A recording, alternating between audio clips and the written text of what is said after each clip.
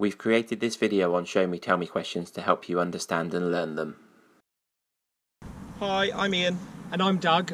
We're going to run through all the Show Me Tell Me questions. On your test, you're going to be asked to do one show and one tell, so we're going to run through all of them for you now. Good luck, guys. These first seven questions are the Show Me questions. These are the questions the examiners are going to ask you to do on the move. Before we show you the questions, let's just go through a few handy tips to help you get them right. Number one, you need to keep your eyes on the road as much as possible. If you do need to look down, just a very quick glance like we're looking in our mirrors. Number two, don't try and answer the questions if you're dealing with something else that's on the road. The examiner won't mind if you wait a second and deal with what's happening in front of you before you answer the question. Number three, if you're not sure, you can ask the examiner to pull over on the left in a safe, convenient place. Once you've pulled over and worked out how to do it, you can then pull away again and demonstrate it on the move.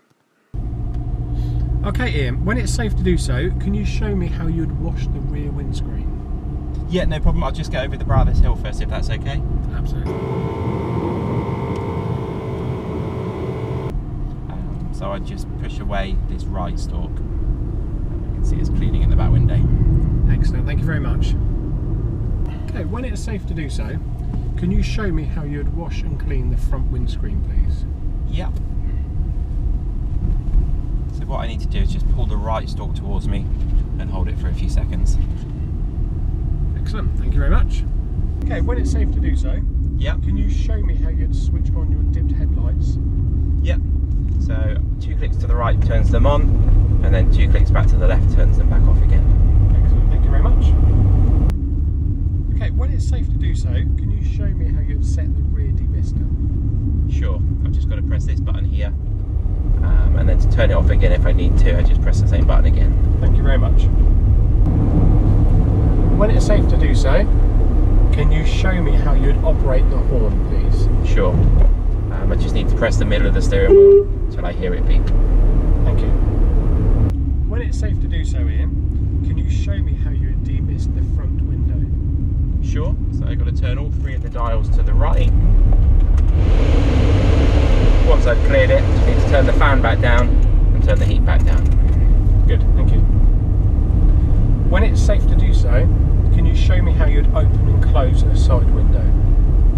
Uh, just press this button, so the window's open, and then I just put it back up again to close it. Thank you very much. We are now going to run through the Tell Me questions. Okay, Ian, can you tell me how you would check the brakes are working before starting a journey? What you need to do is press the brake pedal once the engine's running. It shouldn't feel spongy or slack. Whilst we're driving and using the brakes, you shouldn't feel the car pulling to the left or right. Brilliant, thank you. Tell me where you'd find the information for the recommended tyre pressures for this car and how the tyre pressures should be checked. Uh, we'd find them in our user manual, which is normally in our glove box. You also might find it on a sticker behind the driver's door, and sometimes on a sticker behind the petrol cap. You want to check them using a reliable pressure gauge, checking them when they're cold, and remembering to put the dust cap back on afterwards. Can you tell me how you would make sure that your head restraint is correctly adjusted so it provides the best protection in the event of a crash? We need to make sure that our eye line's in the middle. So that's about there for me. Um, on some cars, it moves closer and further away, so we get it as close to our head as possible, but without actually touching. Thank you. Tell me how you would check the tyres to ensure that they have sufficient tread depth and that their general condition is safe to use on the road. I'm going to check the entire outside of this tyre for any cuts or bulges. Um, we also need to make sure we've got 1.6 millimetres of tread depth across the central three quarters of the tyre and the entire outer circumference. In simple English, all of the grooves in the middle three quarters of the tyre need to be at least 1.6 millimetres deep, and we check all the way around the tyre in the middle three quarters. Okay, Ian, can you tell me how you would check that the headlights and tail lights are working? You don't need to exit the vehicle. Sure, so what we would do is we'd turn the lights on two clicks. Once we've turned them on, we'd walk around the car and check all the bulbs are working. We'd also see on the dash that there was a little symbol saying our lights were on. Thank you. Okay, Ian, can you now tell me how you'd know if there was a problem with your anti-lock braking system? When we start the car, an ABS light will come up on your dash. If it stays on or if it comes on whilst you're driving, it might mean that you've got a problem with your ABS. Excellent, thank you. Can you now tell me how you would check that the directional indicators are working? You don't need to exit the vehicle. So what we need to do is turn the ignition on, um, and then we could put the left indicator on, get out and check that the left three indicator bulbs are working, come back and put the right indicator on and check that the right three indicator bulbs are working. To do all of the six bulbs at the same time, we could use the hazard light switch to save a bit of time.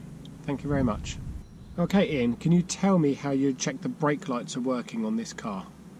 Absolutely, we need to turn the ignition on. Once we turn the ignition on, I can put my foot on the brake pedal and make use of reflections in my mirror, see if they're working. If there's somebody with me, I can ask them to stand at the back of the car and they can check whilst I press the brake pedal. Thank you. Okay, can you tell me how you'd check the power assisted steering is working before starting a journey? Well, during a journey, if it becomes heavy, that might suggest there's a problem. There's two checks we can do. When we start the car, if we put a little bit of pressure on the steering wheel before we start the engine, as you start it, you'll feel the steering wheel go a little bit loose, you'll feel a little bit of movement. The other check is as we move off for the first time, we can turn the wheel a little bit and it should feel light, not heavy. You'd know about it if it wasn't working. Thank you. Tell me how you'd switch on the rear fog lights and explain when you would use them. You don't need to exit the vehicle. Okay, what we need to do is turn our headlights on by doing two clicks to the right. I'll then press the fog light button. We'd use the fog lights when visibility is less than 100 metres. We must remember when visibility gets better to turn them off again so we don't mislead other road users. Thank you. Tell me how you would switch your headlight from dipped to main beam and explain how you would know the main beam is on. When our dip beams are on, we can then just push this stalk away. A little blue symbol comes up on the dash. To turn them off again, we just pull it back towards us. Thank you. Could you open the bonnet for me, please, Ian? Yep, no problem.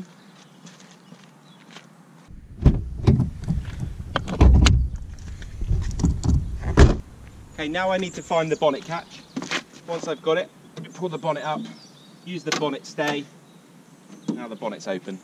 Okay, thank you. Can you now tell me how you check the engine oil level, please? Absolutely. The engine oil dipstick is here. Uh, we'd pull it out, wipe it off, put it back in again, and then pull it out and check the minimum and maximum marks. I'm just going to show that to you. So we'll pull it out. Got a cloth here, so you wipe it all the way down. Be very careful because it can be quite hot. We dip it back in. Give it a little twirl. Pull it out. And I can see it's about just over half full. Now the bonnet is open, tell me how you would check that the engine has sufficient engine coolant. Absolutely. This is the engine coolant bottle. On the back of this one, we've got a minimum and maximum mark, like this picture. Uh, we just check that it's between those two markings, and we never open it when it's hot because we may burn our hands. Thank you very much. Whilst the bonnet is open, tell me how you would check that you have a safe level of hydraulic brake fluid. Absolutely. So this is the brake fluid bottle. On the side, we've got a minimum and maximum mark again. We just check that it's between the two. Thank you very much. Thanks for watching our video on Show Me Tell Me questions. We hope you liked it. Do remember all cars very slightly differ with how you control things, so do ask your instructor about theirs. Please subscribe to our YouTube channel, explore the rest of our videos, and if there's any videos you'd like us to make, please comment below. We'll do our best to help you out.